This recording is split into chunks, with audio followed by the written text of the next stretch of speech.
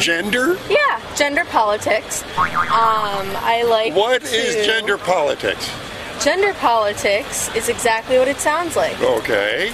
Looking at every possible gender. You like Infowars? Yeah. Do you think that um, fluoride in the water really does turn the frogs gay? No, the fluoride doesn't. It, it's the it's the other chemicals. I think it's the uh, the benzene. I can't even remember, Yeah. but it's another chemical. You There are like 200, over maybe in some locations, over 300 different chemicals they find in the water. Yeah. So yeah, but So lots yeah. of gay frogs. Well, I think that in a lot of ways our DNA is being changed from GMO foods, from the chemicals, from, I mean, you name it. The old cliche, you are what you eat, is pretty damn true. You know? So, Interesting. so what else do you do besides gender politics? What do you, what do you do? Well, that's only a hobby. I'm a business major. So I have a good balance of triggered liberalism and capitalism. So, but I do find a lot of students that, you know, that, that- that- the whole thing about people complaining about the colleges these days, Yeah. how liberal they are. how are you dealing with that? Well, I am liberal, even though I didn't vote in the 2016 election. I was too young. Um, I think they can go a little bit overboard, but I think that it's in the best interest of everyone if they have a little bit more freedom across the campus. And even though that freedom, in the eyes of some, is restricting what people can say, I think it's for the best in order to create a more progressive society.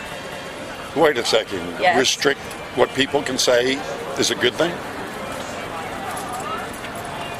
Not necessarily. Well, that is either, this is an either yes it isn't or no it isn't kind of a deal. I think What's if you're not weighing, necessarily, what, what speech would you prohibit?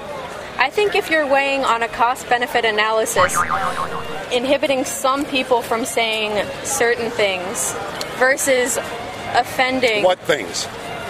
You want me to say them Sure. for the YouTube channel? I don't give a shit who you say them for. All right. I would love to argue with you, and I think this is a great display. But oh, Well, I I'm still understanding why. What what gives you the right to restrict the right. anybody on speech? What what? I never said anything gave me the right. Well, I'm then why would we? You're you're talking about restricting speech. That is, they made the First Amendment the First Amendment for a reason, and it is the most offensive speech that should be the most protected. That's what they made it for. It's not speech you agree with, young lady. I never said it was. Uh huh. Well, that's judging from what you just told me it was. I wonder how you're going to edit this.